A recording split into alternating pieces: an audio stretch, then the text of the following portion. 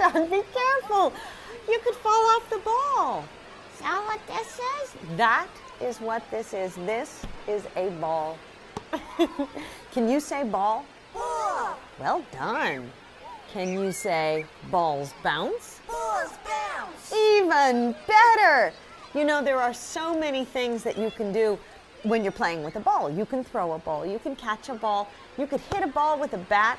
But my favorite thing to do is to play bouncy, bouncy ball. Oh, I love that! Bouncy, bouncy ball. Watch it go up and down. Bouncy, bouncy ball. Big and round. Bouncy, bouncy ball. Watch it go up and down.